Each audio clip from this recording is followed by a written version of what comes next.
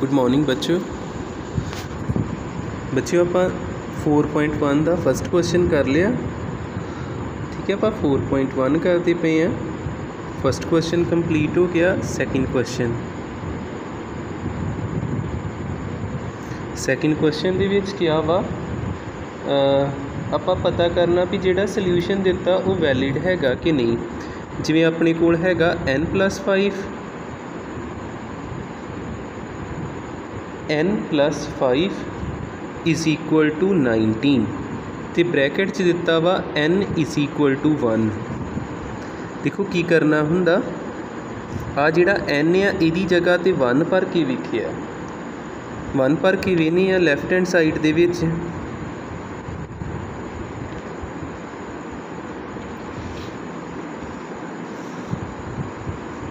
ਦੇਖਿਓ, ਜੇਕਰ ਆਪਾਂ ਇੱਥੇ 1 ਭਰਾਂਗੇ ਪੁੱਟ n is equal to 1 1 ਭਰਿਆ 1 plus 5 1 plus 5 ਕਿਹਦੇ ਇਕੁਅਲ ਆ ਗਿਆ 6 ਤੇ ਪਰ ਉਹਨਾਂ ਨੇ ਕਿਹਦੇ ਇਕੁਅਲ ਦਿੱਤਾ 19 ਦੇ ਠੀਕ ਹੈ ਤੇ ਇੱਥੇ ਆਪਾਂ ਕਹਿ ਸਕਦਾ ਕਹਿ ਸਕਦੇ ਹਾਂ n is equal to 1 is not a solution of solution of n plus 5 is equal to 19 ਇਹਦਾ ਸੋਲੂਸ਼ਨ ਨਹੀਂ ਹੈਗਾ। ਠੀਕ ਲੱਗ ਗਿਆ ਨਾ ਪਤਾ? ਉਸ ਤੋਂ ਬਾਅਦ ਬੀ ਪਾਰਟ ਬੀ ਪਾਰਟ ਦੇ ਵਿੱਚ ਕੀ ਗਿਵਨ ਆ 7n 5 is equal to 19 ਤੇ ਆਪਾਂ ਨੂੰ n ਦੀ ਵੈਲਿਊ ਦਿੱਤੀ ਆ -2 n ਗਿਵਨ ਹੈਗਾ -2 ਆਪਾਂ ਕੀ ਕਰਨਾ? 7n n ਦੀ ਜਗ੍ਹਾ ਤੇ ਆ -2 ਭਰ ਕੇ ਵੀ ਨੇ? ਜਾਂ ਤੁਸੀਂ ਵੈਲਿਊ ਕੱਢ ਲਿਆ ਕਰੋ, ਮੈਂ ਦੂਜੇ ਤਰੀਕੇ ਨਾਲ ਵੀ ਦੱਸ ਦਿੰਦਾ, ਤੁਸੀਂ ਇਹਨੂੰ ਸੋਲਵ ਕਰੀ ਜਾਓ। 7n 5 ਉਧਰ ਜਾ ਕੇ ਮਾਈਨਸ ਦਾ ਹੋ ਗਿਆ। 19 ਚੋਂ ਫਾਈਵ ਕੱਢ ਦਈਏ ਕਿੰਨੇ ਰਹਿ ਜਾਂਦੇ? 14 7 1 ਜਾਂ 7 2 ਜਾਂ 14 n ਕਿੰਨਾ ਆ ਗਿਆ? 2 ਪਰ ਉਹਨਾਂ ਨੇ ਕਿੰਨਾ ਦਿੱਤਾ ਸੀ? ਮਾਈਨਸ 2 ਤੇ ਫਿਰ ਇਹਦਾ ਆਨਸਰ ਕੀ ਆ ਜਾਊਗਾ? ਨੋ it is not a solution no it is not a solution a solution ਹੈਗਾ, ਆ ਨਹੀਂ ਸੋਲੂਸ਼ਨ ਹੈਗਾ ਜਿਹੜਾ ਇੱਥੇ ਗਿਵਨ ਹੈਗਾ। ਠੀਕ ਹੈ? ਉਸ ਤੋਂ ਬਾਅਦ ਅਗਲਾ ਸੀ ਪਾਰਟ ਸੀ ਪਾਰਟ ਦੇ ਵਿੱਚ ਹੈਗਾ ਵਾ 7n 5 ਇਹਨੂੰ ਕਿਹਦੇ ਇਕੁਅਲ ਦਿੱਤਾ ਹੈ? 19 ਦੇ। ਤੇ ਬ੍ਰੈਕਟ 'ਚ n 2 ਦਿੱਤਾ। ਜਿਹਨੂੰ ਪਿਛਲਾ ਸਟੈਪ ਨਹੀਂ ਪਤਾ ਲੱਗਾ, ਪਿਛਲਾ ਬੀ ਪਾਰਟ ਨਹੀਂ ਪਤਾ ਲੱਗਾ ਸੀ ਪਾਰਟ ਸੇਮ ਉਹੋ ਹੀ ਆ। ਠੀਕ ਹੈ? ਤੇ ਇਹਨੂੰ ਵੀ ਮੈਂ ਉਦਾਂ ਹੀ ਕਰਾਉਣਾ, ਦੇਖਿਓ। 7n ਉਸੇ ਤਰ੍ਹਾਂ 5 ਪਲੱਸ ਹੋਣ ਡਿਆ, ਉਧਰ ਜਾ ਕੇ ਮਾਈਨਸ ਹੋ ਜਾਓ। 19 ਚੋਂ 5 ਕੱਢ ਦਾਂਗੇ, ਕਿੰਨੇ ਰਹਿ ਜਾਣੇ? 14 7 1 ਜਾਂ 7 2 ਜਾਂ 14 n ਕਿੰਨਾ ਆ ਗਿਆ 2 ਤੇ ਉਹਨਾਂ ਨੇ ਗਿਵਨ ਵੀ ਕਿੰਨਾ ਦਿੱਤਾ 2 ਤੇ ਆਪਾਂ ਕੀ ਲਿਖ ਦਾਂਗੇ? Yes it is a solution yes it is a solution ਹੋਈ ਜਾਂਦਾ ਨਾ ਕਲੀਅਰ ਉਸ ਤੋਂ ਬਾਅਦ ਡੀ ਪਾਰਟ ਡੀ ਪਾਰਟ ਹੈਗਾ ਵਾ 4p 3 ਇਜ਼ ਇਕੁਅਲ ਟੂ 13 ਤੇ p ਦੀ ਵੈਲਿਊ 1 ਉਹਨਾਂ ਨੇ ਕਿਹਾ, ਵੇਖੋ ਆਉਂਦੀ ਕਿ ਨਹੀਂ। ਹੁਣ 4p ਉਸੇ ਤਰ੍ਹਾਂ 13 3 ਮਾਈਨਸ ਦਾ ਇੱਧਰ ਆਣ ਕੇ ਪਲੱਸ ਦਾ ਹੋ ਗਿਆ। 13 ਤੇ 3 16 ਹੋ ਗਏ 4 ਮਲਟੀਪਲਾਈ ਹੋਣ ਡਿਆ, ਉਧਰ ਜਾ ਕੇ ਡਿਵਾਈਡ ਹੋ ਗਿਆ। 4 1 ਜਾਂ 4 4 ਜਾਂ 16 p ਦੀ ਵੈਲਿਊ ਤੇ 4 ਆ ਗਈ। ਉਹਨਾਂ ਨੇ ਕਿੰਨੀ ਕਹੀ ਸੀ? 1 ਕਹੀ ਸੀ। ਫਿਰ ਆਪਾਂ ਇੱਥੇ ਲਿਖ ਦਾਂਗੇ ਨੋ it is not a solution ਆ, ਇਹ ਇਹਦੇ ਲਈ ਆਇਆ, ਇਹਦੇ ਲਈ ਨਹੀਂ ਆਇਆ। ਇਹ ਸੋਲੂਸ਼ਨ ਹੈਗਾ ਵਾ, ਜਿਹੜਾ ਉਹਨਾਂ ਨੇ ਕਿਹਾ ਉਹ ਸੋਲੂਸ਼ਨ ਨਹੀਂ ਹੈਗਾ। No it is not a solution E part E part ਦੇ ਵਿੱਚ ਹੈਗਾ ਵਾ 4p 3 is equal to 13 ਤੇ p ਦੀ ਵੈਲਿਊ ਦਿੱਤੀ -4 ਠੀਕ ਹੈ, ਇਹਨੂੰ ਫਿਰ ਉਦਾਂ ਹੀ ਸੋਲਵ ਕਰਨਾ, ਉੱਪਰ ਵਾਲੇ ਆਏਗਾ ਹੀ ਹੈ। ਕੀ ਆਊਗਾ? 4p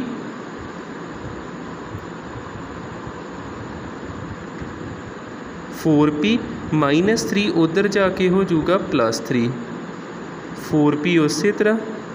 13 ਤੇ ਥਰੀ ਕਿੰਨੇ ਹੋ ਗਏ? 16 4 1 ਜਾਂ 4 4 ਜਾਂ ਸਿਕਸਟੀਨ ਪੀ ਆ ਗਿਆ ਫੋਰ ਬਟ ਉਹਨਾਂ ਨੇ ਕਿੰਨਾ ਕਿਹਾ ਇਹ?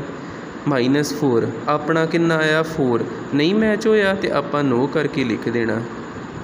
No it is not a solution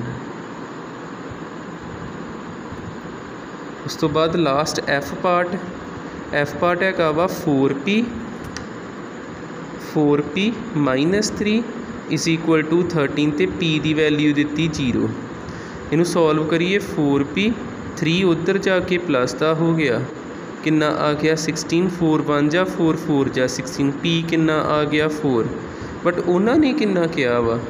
ਉਹਨਾਂ ਨੇ 0 ਕਿਹਾ। ਇਹਦੇ ਵਿੱਚ ਵੀ ਆਊਗਾ no it is not a solution it is not a solution. Second question ਦੇ ਜਿੰਨੇ ਪਾਰਟ ਹੀ ਆਪਣੇ ਸਾਰੇ ਕੰਪਲੀਟ ਹੋਏ ਥਰਡ ਕੁਐਸਚਨ ਹੁਣ ਉਹਨਾਂ ਨੇ ਕਿਹਾ ਵਾ ਥਰਡ ਕੁਐਸਚਨ ਚ solve the following equation by trial and error method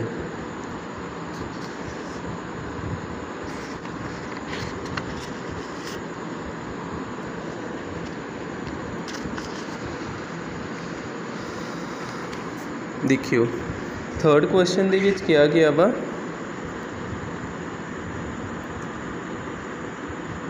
solve the following equation by trial and error method